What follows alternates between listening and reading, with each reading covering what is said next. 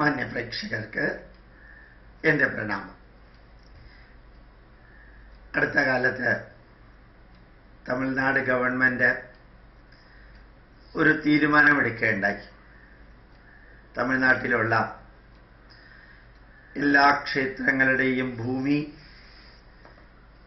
Tamil Nadu news print and paper ഫാക്ടറിക്ക് ലീസിന് കൊടുക്കാം. ഹിന്ദുക്കളുടെ ക്ഷേത്രഭൂമി തമിഴ്നാട് ഗവൺമെന്റിന്റെ സ്ഥാപനമായിട്ടുള്ള Tamil Nadu news print and papers കമ്പനിക്ക് പതിനഞ്ച് വർഷത്തേക്ക് ലീസിന് കൊടുത്ത് അവിടെയെല്ലാം യൂക്കാലിപ്റ്റസ് മരങ്ങൾ വെച്ച് പിടിപ്പിക്കാം അതിൽ നിന്ന് കിട്ടുന്ന ലാഭത്തിന്റെ മുപ്പത് ശതമാനം ദേവസ്വത്തിന് കൊടുക്കും അമ്പലത്തിന് കൊടുക്കും ബാക്കിയുള്ളത് ഗവൺമെന്റും കമ്പനിയായിട്ട് ഷെയർ ചെയ്യും.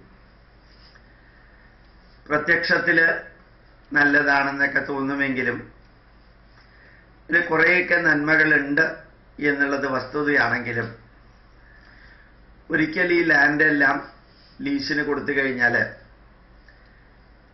നമ്മൾ പറയാറുണ്ട് കാട്ടിലെ തടി തേവരുടെ ആന.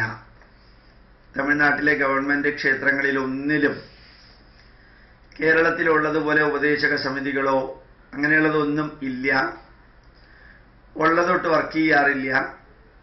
അവിടുത്തെ ദേവസ്വം ബോർഡ് ഉദ്യോഗസ്ഥര് ശരിക്കും പിടിച്ചു പറിക്കുന്ന ഒരു വിഭാഗക്കാരാണ്. അവിടുത്തെ ജനതയ്ക്കും അമ്പലത്തിനോട് വലിയ താല്പര്യമൊന്നുമില്ല. ആയിരക്കണക്കിന് വലിയ ക്ഷേത്രങ്ങൾ കാട് പിടിച്ച് കിടക്കുന്ന കാഴ്ച ഇന്നും തമിഴ്നാട്ടിൽ മുഴുവനും കാണാം. പ്രത്യേകിച്ച് പൂജാരിമാരും ഇല്ല. അല്ലെങ്കിൽ ആത്മീയ കർമ്മങ്ങൾ നടക്കുന്നില്ല. അങ്ങനെയുള്ള ഒരു അന്തരീക്ഷത്തിൽ അവിടുത്തെ ക്ഷേത്രഭൂമി യൂക്കാലിപ്റ്റസ് മരങ്ങൾ വെച്ച് പിടിപ്പിക്കാൻ വേണ്ടി കൊടുത്തു കഴിഞ്ഞ് ആ കോൺട്രാക്ട് എടുക്കുന്ന വ്യക്തി അത് ലീസിനെടുത്ത കാലം കഴിഞ്ഞ് വീണ്ടും തുടരുകയാണെങ്കിൽ ഇപ്പൊ കേരളത്തിലെ ഹൈറേഞ്ചുകളിലെ കണ്ണൻ ദേവൻ മലകൾ എത്രയോ കമ്പനിക്കാരുടെ പേരിൽ നൂറു വർഷമായിട്ട് കിടക്കാണ് നൂറു വർഷം കഴിഞ്ഞിട്ടും അതൊന്നും ആരും തിരിച്ചു കൊടുക്കുന്നില്ല. ഇപ്പൊ യഥാർത്ഥത്തിൽ അതേപോലെ ഈ ദേവസ്വം ഭൂമികളൊക്കെ നശിച്ചു പോകുന്ന ഒരു കാഴ്ച. ഇത് തമിഴ്നാട്ടിലാണ് നടക്കുന്നതെങ്കിൽ നമ്മൾ കേരളത്തിലും ഇത് ശ്രദ്ധിക്കേണ്ടതുണ്ട്. ക്ഷേത്രഭൂമികൾ ചെറിയ രീതിയിലാണെങ്കിലും മതിൽ കെട്ടി പ്രൊട്ടക്ട് ചെയ്യാം. ക്ഷേത്രക്കുളങ്ങൾ നന്നാക്കി വെക്കുക ഇടിഞ്ഞു പൊളിഞ്ഞ് കിടക്കുന്ന ക്ഷേത്രങ്ങൾ പുനഃ പുനരുദ്ധരിക്കുക. ഇതെല്ലാം നമ്മൾ ചെയ്തില്ലെങ്കിൽ ധാരാളം ക്ഷേത്രങ്ങൾ റോഡ് സൈഡിലുണ്ട്. ആ ക്ഷേത്രങ്ങളിൽ റോഡ് വികസനം നടക്കുമ്പോൾ ആ ക്ഷേത്രഭൂമി ഗവൺമെന്റ് എടുക്കുമ്പോൾ ഒരു പൈസയും കൊടുക്കാറില്ല.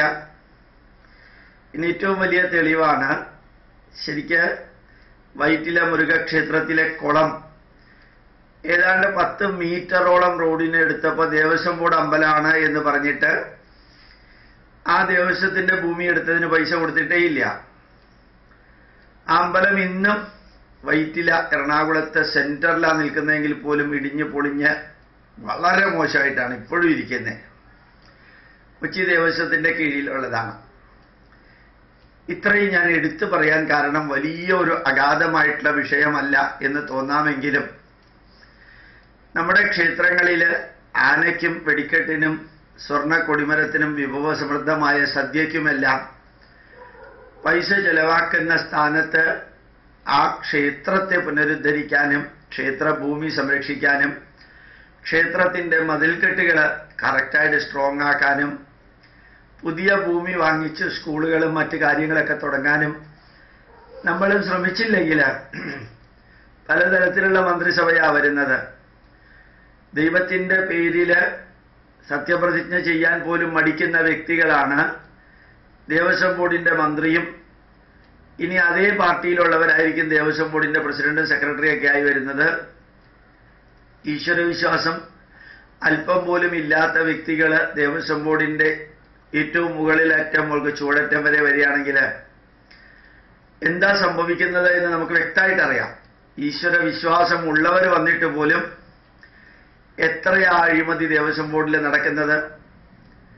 കണക്ക് കണക്കുകളില്ലാതെ വരവുള്ള സ്ഥലത്ത് ആ സമ്പത്ത് കൈകാര്യം ചെയ്യുന്നതിൽ ഒരു ഭാഗം പോക്കറ്റിലേക്ക് പോകുമെന്നുള്ളതും അവിടെ സത്യവും ധർമ്മവും നീതി ന്യായം വെച്ചു പുലർത്തുന്നത് വിശ്വാസത്തിന്റെ പുറത്താണ്.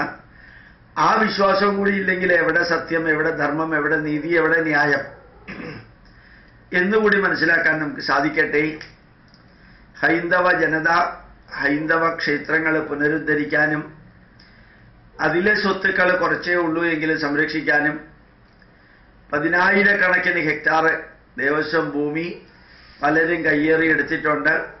സാധിക്കുന്നിടത്തോളം തിരിച്ചു പിടിക്കാനും സാധിക്കില്ലെന്ന് ഉറപ്പാണെങ്കിൽ ഒരു ചെറിയ കോമ്പൻസേഷൻ എങ്കിലും മേടിക്കാനും നമ്മുടെ ക്ഷേത്രത്തിലെ ഉപദേശ സമിതികൾ പ്രത്യേകിച്ച് ആർ എസ് എസ്സുകാർ ആർ എസ് എസ്സുകാരും ക്ഷേത്ര സംരക്ഷണ സമിതിക്കാരും വിശ്വ ഹിന്ദു പരിഷത്തുകാരും വിചാരിച്ചാലേ യുവാക്കളായിട്ടുള്ളവർ വിചാരിച്ചാലേ മറ്റുള്ളവരെയും കൂടി ചേർത്ത്. ഇതിനൊരു മാർഗനിർദ്ദേശം നൽകാൻ സാധിക്കുള്ളൂ. മറ്റുള്ളവരെയും എന്ന് ഞാൻ ഉദ്ദേശിച്ചത് മറ്റെല്ലാ രാഷ്ട്രീയ പാർട്ടിക്കാരെയും എല്ലാവരെയും കൂട്ടി യോജിപ്പിച്ച് മുമ്പോട്ട് പോകാൻ അവർക്കേ സാധിക്കുള്ളൂ അവർക്ക് സാധിക്കും അവർ കൂടി അത് ചെയ്യട്ടെ ഗവൺമെന്റ് ലാൻഡ് പല കമ്പനികൾക്ക് എഴുതി കൊടുത്ത് പ്രത്യേകിച്ച് ദേവസ്വത്തിന്റെ ആരും ചോദിക്കാനും പറയാനും ഇല്ലാത്ത അവസ്ഥയിലേക്ക് അത് എത്തിയതിന് ശേഷം പിന്നെ തിരിച്ചു കൊണ്ടുവരാൻ സാധിക്കില്ലെന്ന് വളരെ വേദനയോടുകൂടി ഓർമ്മിപ്പിക്കുന്നു. പ്രണാമം. നമസ്കാരം.